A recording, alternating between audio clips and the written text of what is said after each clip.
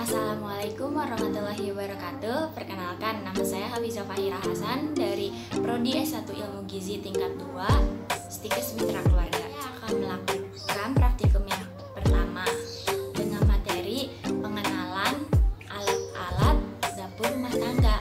Peralatan dapur rumah tangga dibedakan menjadi dua. Yang pertama,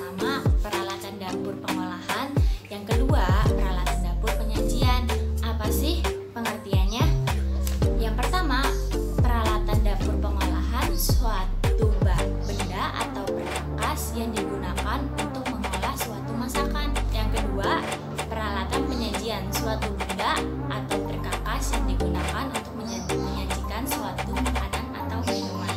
Mari kita lakukan perkenalan alat-alat tersebut. Berikut videonya. Untuk pengenalan alat-alat dapur rumah tangga, saya ya akan memperkenalkan terlebih dahulu peralatan pengolahan. Yang pertama ada frying pan yang biasa digunakan untuk menggoreng dengan minyak sedikit. Contohnya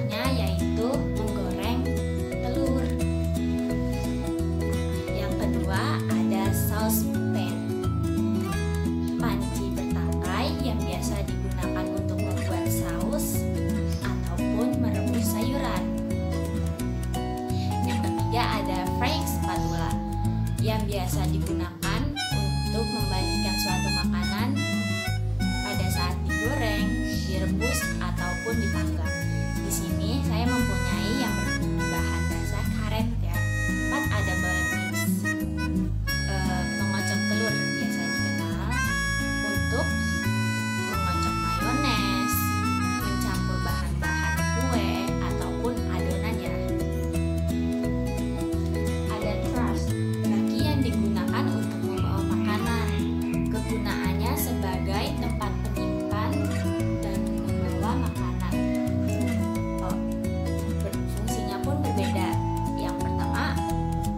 biasa digunakan untuk memotong daging dan sayuran.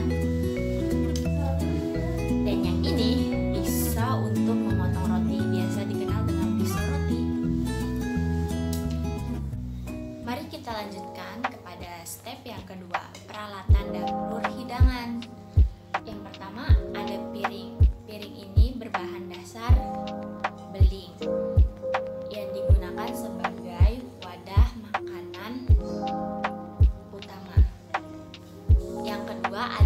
plate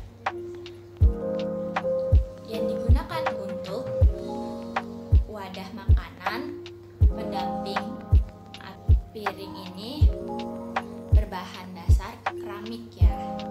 Ada sendok dan